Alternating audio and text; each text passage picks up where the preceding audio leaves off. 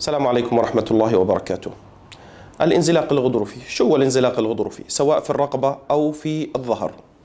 الانزلاقات الغضروفية هي عبارة عن خروج الغضروف اللي هو بين الفقرتين خروجه من مساره أو من مكانه السليم ومن ثم بيصير يضغط على النخاع الشوكي والأعصاب الخارجة من النخاع الشوكي سواء اليمنى أو اليسرى. طيب هل له أسباب الانزلاق الغضروفي؟ نعم له أسباب والسبب الأساسي والرئيسي اللي هو إيش؟ رقم واحد ضعف عضلات الظهر طب شو اللي بيسبب ضعف عضلات الظهر؟ ضعف عضلات الظهر السبب الأساسي فيها عدم ممارسة الرياضة وأيضا طبيعة العمل طبيعة العمل يعني كثير منا يعني اللي بيجلس ساعات طويلة اللي بضل واقف ساعات طويلة دون أن يمارس الرياضة يؤدي إلى ضعف عضلات الظهر ومن ثم آه، يكون الغضروف مؤهل للانزلاق. بعض الأحيان بيجي إنسان ما بيقدر يرفع 50 آه، كيلو أو 60 كيلو أو ما شابه ذلك بيرفعها بصير عنده انزلاق غضروفي أو ما يسمى أو المتعارف عليه بالفتق. تمام؟ فهالأشياء هذه أساسية وضرورية لكي نعلمها ونعرفها بحيث نتلافى ما يسمى بالانزلاق الغضروفي. طيب في حاجة تانية مع الانزلاق الغضروفي ممكن آه، نشرحها هيك شرح سريع ألا وهي ما يسمى بعرق النسا.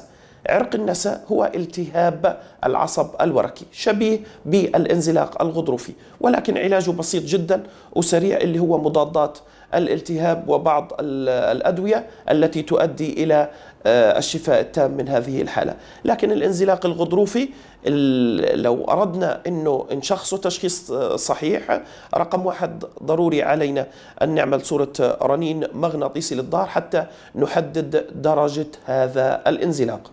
طيب إذا كان درجة هذا الانزلاق بسيطة ولا وغير مؤثر هذا الغضروف على الأعصاب بشكل كبير ومش مسبب أي تلف للأعصاب مباشرة علاج تحفظي. شو هو طيب العلاج التحفظي؟ عدم رفع الأشياء الثقيلة وممارسة الرياضة بشكل يومي وخاصة وأخص بالذكر عضلات الظهر يجب تقويتها آه، بتمارين معينة موجودة ومنتشرة تمام بيعرفوها الأخصائيين آه، بالعلاج الطبيعي بيعرفوها. يعني أنت لو سألت أي إنسان أو أي طبيب خاص بالعلاج الفيزيائي على طول حيعطيك تمرين أو اثنين حتتفادى به ويفضل أن تستمر على هذه التمارين فترة طويلة. يفضل الإنسان دائما ويجعلها في حياته حتى يمنع الانزلاق الغضروفي. هناك بعض الأدوية التي تعطى لأجل التخفيف من حدة الانزلاق الغضروفي وهذه الأدوية في عمومها يعني ممكن يكون كورتيزون ممكن يكون مسكنات فيتامينات تساهم كلها في عملية الشفاء التام من الغضروف. طيب لو كان الغضروف متقدم يعني ضغط على الأعصاب بشكل إنه تالف الأعصاب وأيضا أدى إلى آه، ضرر بعض الأعضاء زي الإيد مثلا إذا كان في الرقبة أو الرجل إذا كان آه، في الظهر.